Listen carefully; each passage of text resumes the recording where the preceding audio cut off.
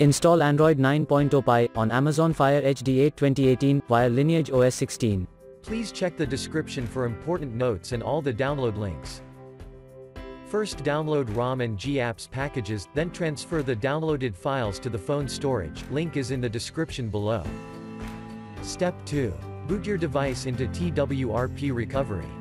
Once in TWRP, click on Wipe, Advanced Wipe, and select the check boxes, as shown in the image, excluding internal storage. Step 4. Swipe the button to wipe the device.